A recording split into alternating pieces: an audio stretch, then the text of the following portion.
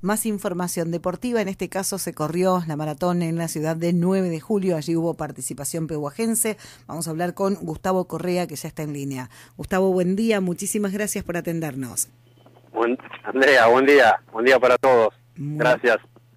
Gustavo, bueno, contanos cómo fue eh, tu participación en esta competencia, cuáles fueron las características.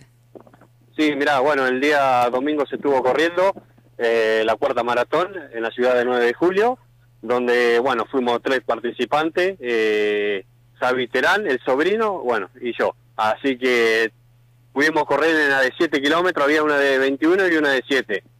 En mi caso, te hablo en lo mío en particular, yo iba a correr la de 21, pero me tuve que bajar a la de 7 porque me resentí una semana en una lesión que me venía arrastrando y bueno, nada, no me quedó otra que bajarme a correr 7 kilómetros, pero en realidad venía entrenando para los 21. Pero bueno, eh, no obstante eso, la carrera fue muy linda, en el momento que se largó, que fueron a las 9 de la mañana, estaba muy, muy pesado, muchísimo viento, pero bueno, pudimos correr entre todos, se corrió bien, hicimos una buena carrera yo en mi caso clasifiqué décimo segundo en la general y segundo en la categoría.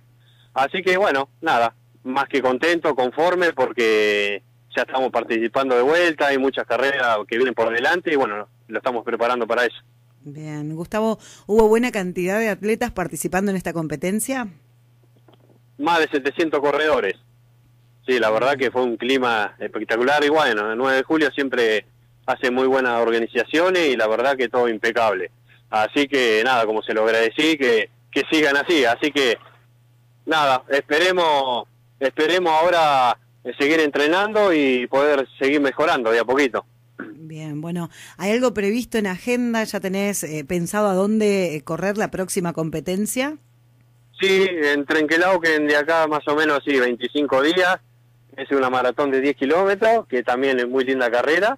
Así que bueno, vamos a ver si podemos estar presentes en esa también. Bien, la idea es mantenerte activo durante todo el año.